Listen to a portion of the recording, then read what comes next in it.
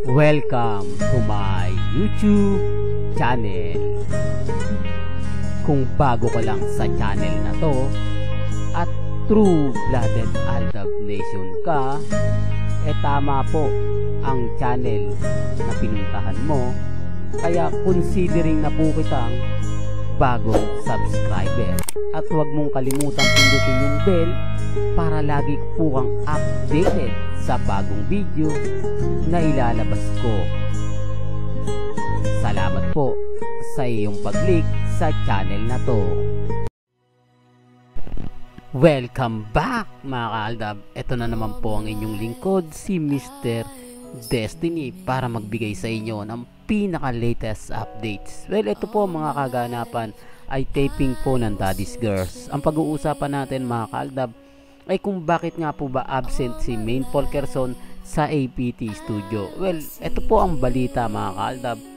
Absent po raw si Mengay ng 2 weeks. Yan po yung kumakalat sa social media. Tinanong ko na rin po yung iba pero hindi po nila masagot kasi kumbaga ang sinasabi po kasi nila magpapalabas po raw sa March 3 yung Merkules na maraming cake po raw ang dadalhin sa APT Studio.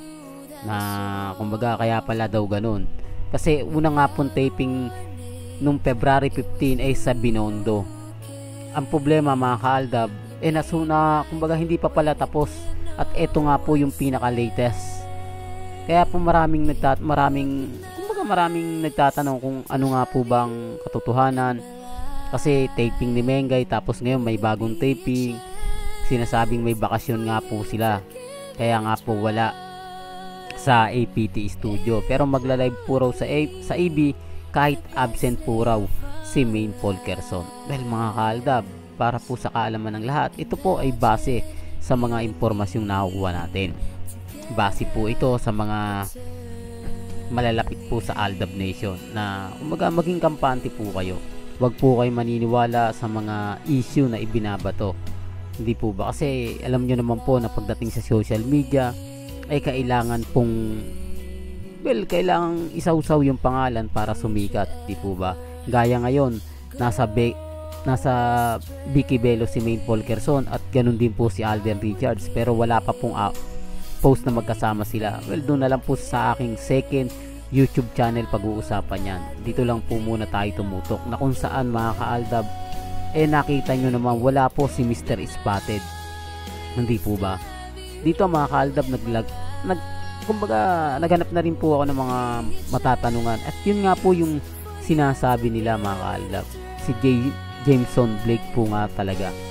Yun nga po yung nakikita natin at alam po natin na pwede kasi lumipat na po ito sa GMA Kapuso pumirma na rin po ito ng kontrata Katulad po ni Rian Ramos, mga kaldab, public din po ito.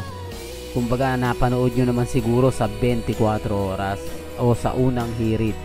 Di po ba na pinapakita po bawat artista sa labas at sa loob eh kailangan po maipakita sa buong pub- sa buong well, sa publiko hindi po ba na etong taong to ay pumirma sa amin ng bagong kontrata? Kaya nga po nagtataka ako kung bakit sinasabi nila at lagi po nilang pinipilit na may kontrata. In, kumbaga hindi raw o pumirma po raw ng bagong kontrata si Alden Richards. Nakakadismaya kasi wala naman po akong nakita. Kayo mga kaaldab may nakita po ba kayo na katulad ni Rian Ramos na pumirma ng kontrata? Well pasensya na po kayo kasi na-update ko na to paulit-ulit sinasabi ko lang po ito para po sa kaalaman ng lahat para po doon sa mga nagsasabing kaya akala ko tapos na yung kontrata ni Alden. Bakit na andito pa rin at may taping pa rin? Lockdown, yung, yung po yung bike. Kumbaga parang ganito yan eh.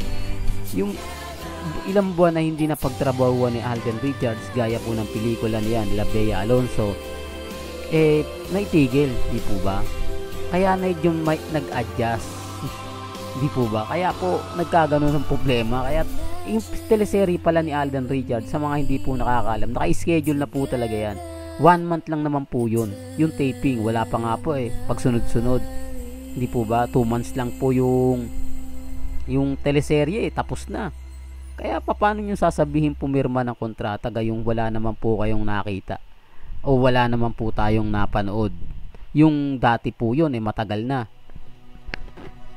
Yun po yung pinirmahan ni Alden Richard. Eh, tapos na. Ay, kumbaga sa GMA concert po yun. O GMA Sente. Kumbaga parang GMA Records. Parang ganun po yung pinirmahan niya. Hindi po yun GMA Kapuso Artist Center. Malaki po yung pagkakaiba nun. Real talk mga kaldab.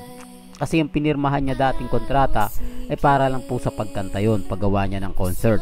Doon naman po sa GMA Kapuso Center na ang ibig sabihin nun ay pwede kang gagawa ng pelikula, gagawa ka ng teleserye, yan po yung kontrata. Kaya po sa mga taong hindi ako makuha o hindi nila magets yung sinasabi ko, eh mag-research po kayo.